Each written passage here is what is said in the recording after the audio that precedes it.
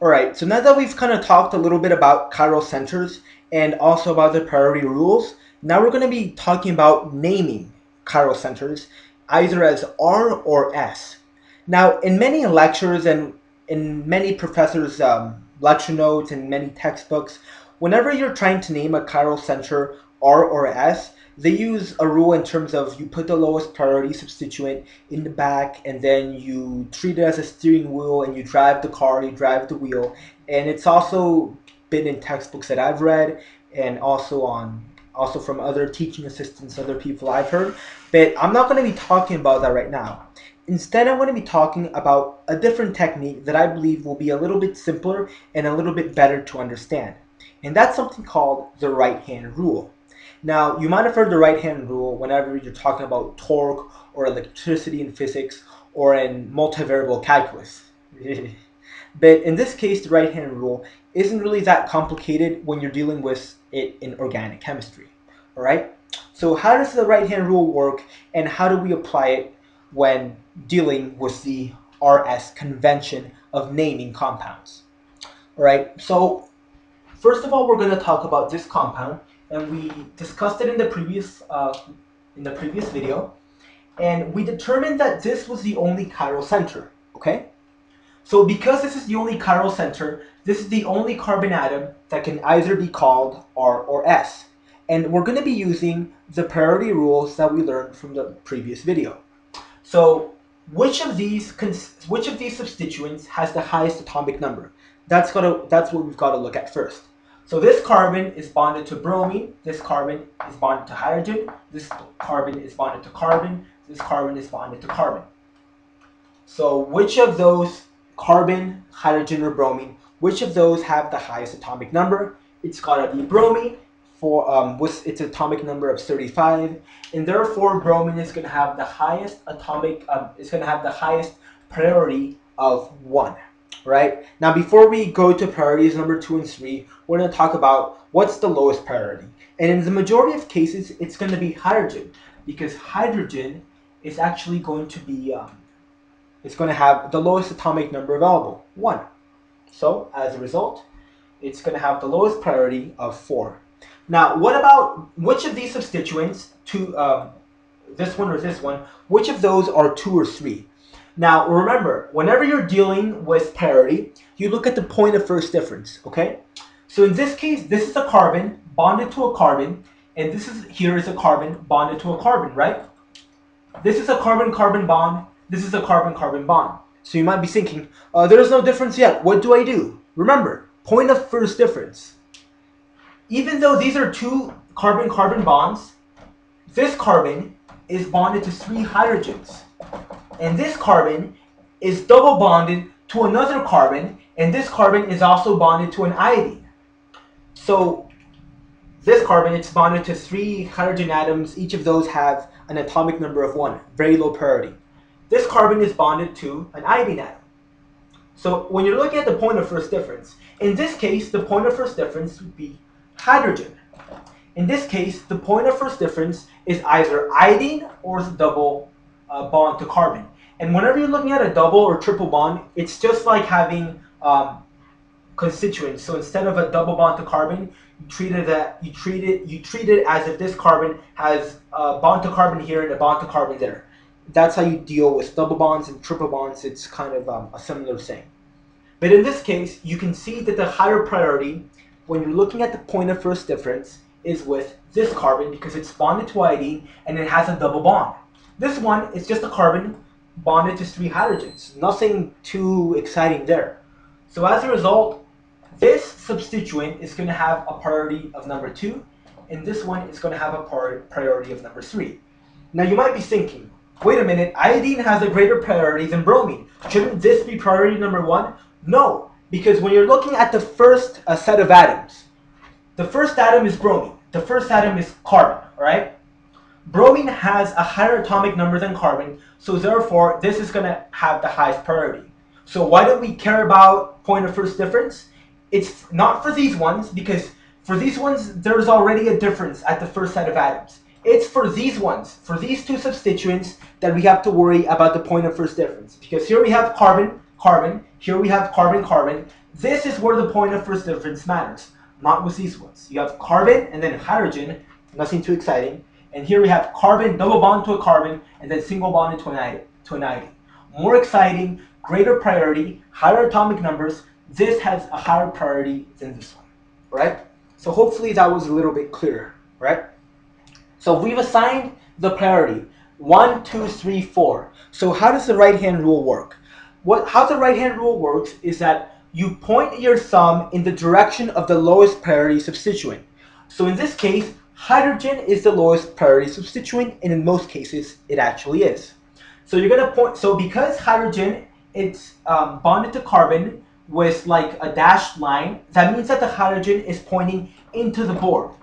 So you're gonna have the hydrogen, so you're gonna have your, your thumb in the direction of hydrogen, pointing into the board away from you, the viewer, okay?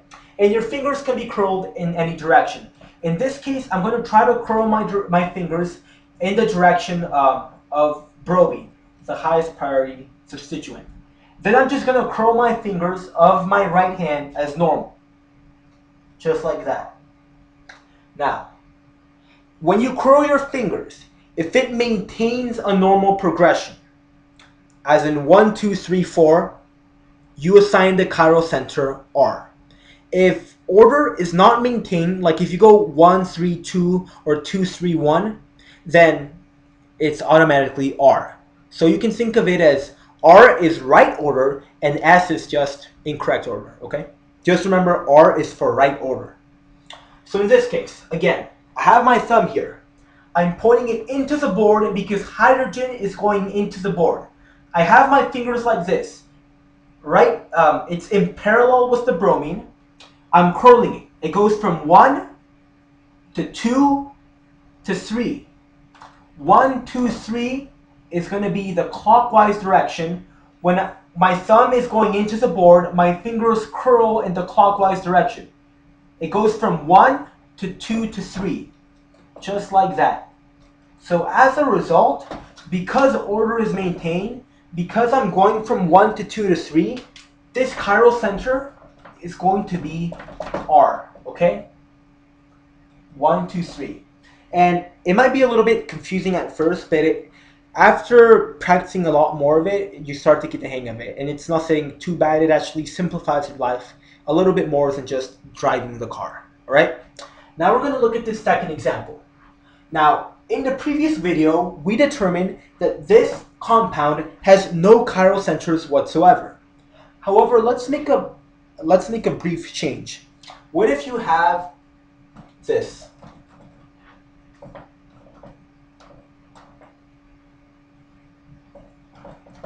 Now you have four different substituents, right? Because this entire substituent is different from this because S and O, sulfur and oxygen, are two different atoms, which is different from all this, which is different from this.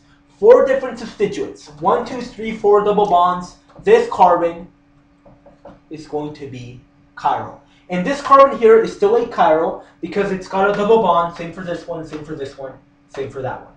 Remember, if a double bond is present, the carbon center is not going to be a chiral center, right? So, this is the only chiral center we have in this case. How do we assign priority?